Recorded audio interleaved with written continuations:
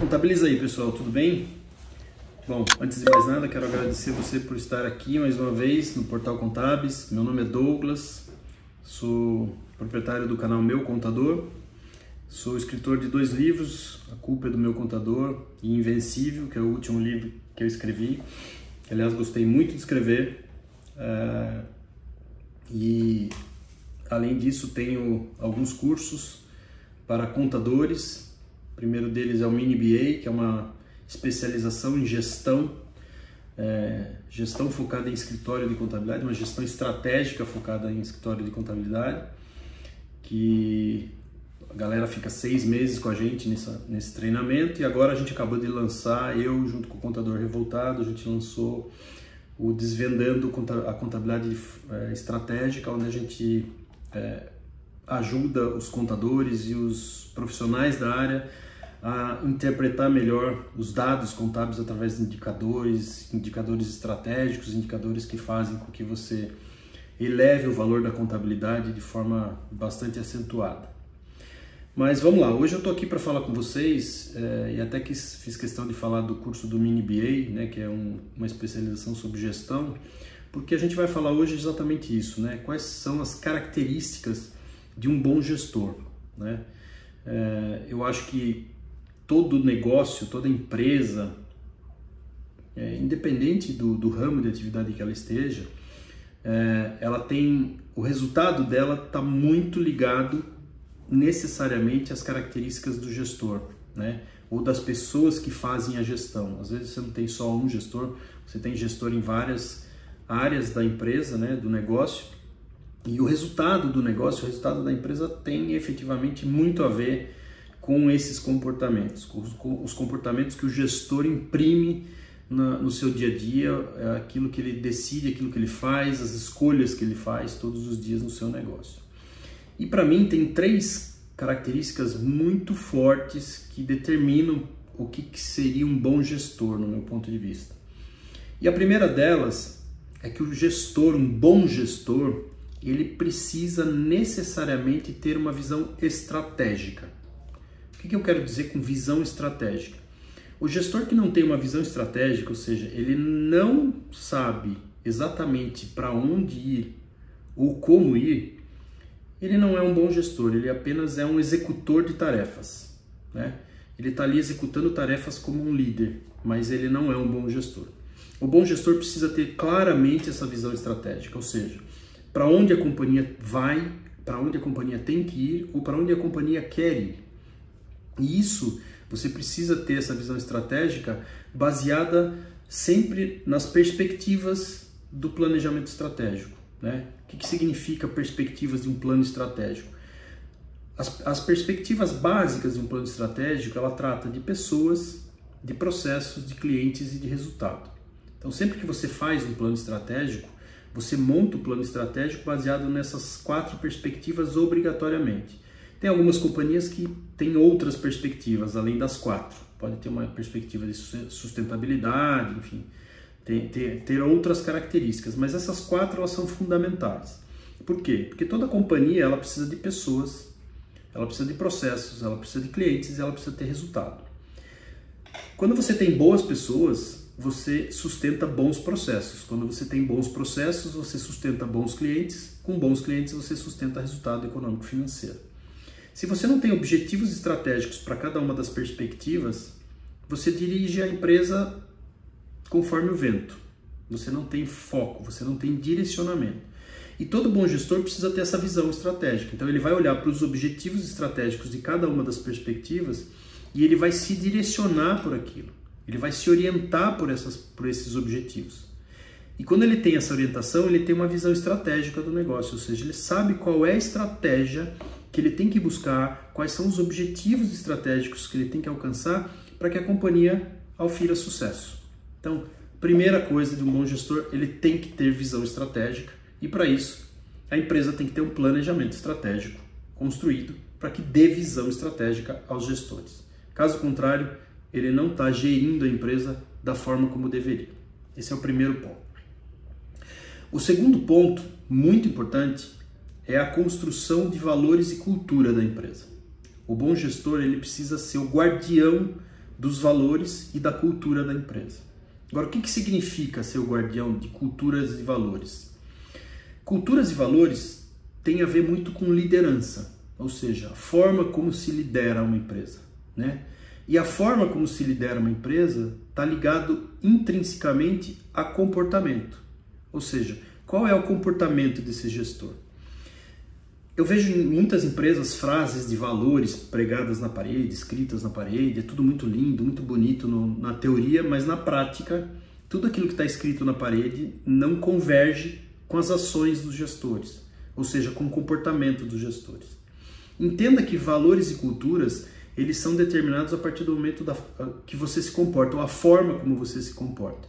Então, três coisas fundamentais que dizem muito sobre a cultura da sua empresa. A, a, a forma como você admite pessoas, ou seja, quem você admite, você está dizendo para o resto do time: esse tipo de pessoa é a pessoa que eu gosto, que eu quero dentro do time, porque eu estou admitindo esse tipo de cultura. É a cultura, da, é o comportamento daquelas pessoas que você coloca para dentro da empresa, são os comportamentos que você é, aprova a forma como você promove essas pessoas, você está dizendo, olha, esse comportamento dessa pessoa, a forma como ela se comporta, como ela trabalha, a forma como ela busca conhecimento, ela recebe promoção. Então, você está dizendo muito sobre a cultura quando você admite, quando você promove e também quando você demite alguém.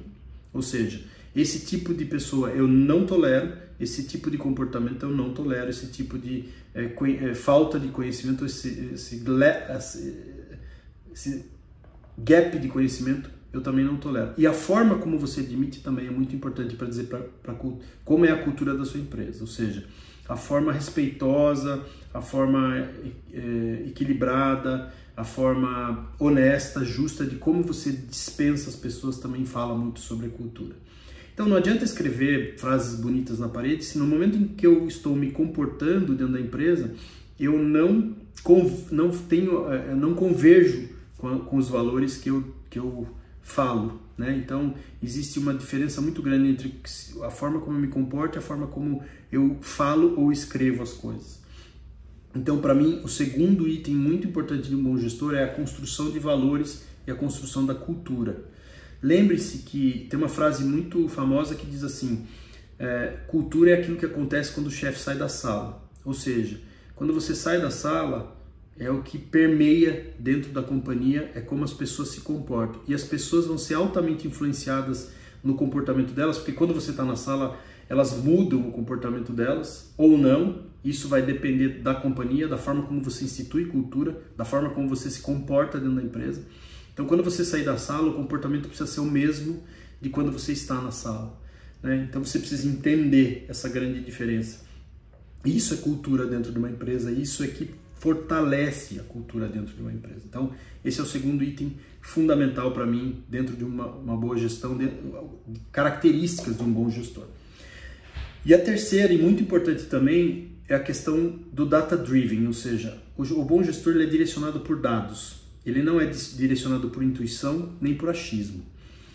A intuição é importante em alguns momentos, sim, mas você tem que entender que intuição você só intui de verdade quando você já tem experiência sobre um fato ou sobre, você já passou por fatos semelhantes que construíram para você é, características dentro da, da, tua, da tua, do teu rol de, de conhecimento e de, e de, experiência, coisas que já aconteceram. Então você consegue intuir quando você tem esse tipo de, de formação ou de informação. Quando você está passando por uma situação que você nunca passou, e você acha que você tá, sua intuição está dizendo para você fazer alguma coisa, você não está intuindo, você está achando. E o achismo é muito perigoso. Então, eu digo sempre para o nosso time, olha, sempre que a gente vai avaliar um caso, aconteceu um fato lá de algum funcionário, de algum colaborador, antes da gente julgar a pessoa, vamos julgar o processo. Vamos olhar o processo, vamos ver se a gente deu condições daquela pessoa executar com eficiência e qualidade aquilo que ele precisava executar. Porque se a empresa não deu condições e não olhou o processo, não significa que a culpa é da pessoa. A culpa está no a responsabilidade está no processo e não na pessoa. Agora, se a gente deu condições efetivas para que aquela pessoa fizesse, aí a gente vai avaliar o comportamento da pessoa. Então, eu acho que isso é importante, o data driven, ou seja, usar dados para tomar decisões. Então, antes de tomar uma decisão baseado no comportamento da pessoa, eu vou olhar os dados do processo para ver se o processo está bem desenhado. Antes de eu tomar alguma decisão, que qualquer que seja, eu vou olhar dados. E até em função disso que eu falei do nosso curso inicial do Desvendando a Contabilidade, né, de forma estratégica. Por quê? Porque a gente fala ali de construção de dados baseado em números. Então a gente constrói indicadores e a gente lê indicadores para tomar melhores decisões. E não se tomam decisões baseadas em achismo. Então, esse é o terceiro fator que eu acho fundamental de um bom gestor. Ele tem que ter, ele tem que ter informação na mão dele, ele tem que ter formação e informação à disposição dele para ele tomar melhores decisões. Ele só vai tomar melhores decisões se ele se basear em números, em dados, em informação que ele possa confiar. Óbvio que em alguns momentos a intuição vai, se, vai fazer um mix com isso, vai, vai misturar, mas sempre busque a racionalidade das decisões e não a emoção nas decisões. Quanto mais racional for sua decisão, hum, a probabilidade de você estar correto é muito maior. Você vai ser muito mais eficiente e efetivo porque você vai ter é, base informacional, você tem informação, você tem dados para tomar uma decisão. E contra fatos não há argumentos, né? Se você apresenta os fatos, os números, aquilo que você realmente levantou de dados, então, mais uma vez, é muito importante que você tenha dados, que você tenha coleta de dados. Como é que você decide sobre o comportamento de uma pessoa se você não levanta dados sobre o comportamento dela, sobre a, entrega dela, sobre a, a, performance dela, né? Quando você não avalia performance de forma racional, de forma matricial, como é que você diz que a pessoa é boa ou não é boa? Se você não levanta dados sobre o processo, como é que você diz se o processo é bom ou não é bom? Então, quanto mais dados você tiver para tomar decisão, mais eficiente vai ser a tua decisão e mais assertiva vai ser a sua decisão. Então, para mim, essas três características são muito importantes, né? Então, a primeira delas é visão estratégica, a segunda é construção de valores e, e, e cultura dentro da empresa, e a terceira, você ser baseado em dados, ou seja, usar o conceito do data driven para gestão. Espero que eu possa ter te ajudado muito na evolução da tua carreira. A intenção aqui é sempre ajudá-los e construir uma classe contábil cada vez mais profissional, né? Cada vez mais que os gestores e as pessoas envolvidas com a nossa área se tornem cada vez melhores profissionais, mais produtivos, mais eficientes e que com isso a gente construa cada vez mais valor com o nosso mercado e com o mercado brasileiro aí dos, do, dos clientes, enfim, de todo, todo, todos os stakeholders que a gente acaba atuando, tá bom? Bom, te vejo numa próxima, espero que eu tenha contribuído, contabiliza aí e não deixa de seguir aqui, clicar aqui no sininho para você ser avisado quando tiver material, acompanhe a gente nos canais para gerar relevância, é sempre importante ter o acompanhamento de vocês, a interação, né, o engajamento de vocês para que o canal continue sendo fortalecido e possa se manter aqui entregando muito conteúdo de valor é, para vocês poderem evoluir na carreira de vocês. Forte abraço e contabiliza aí.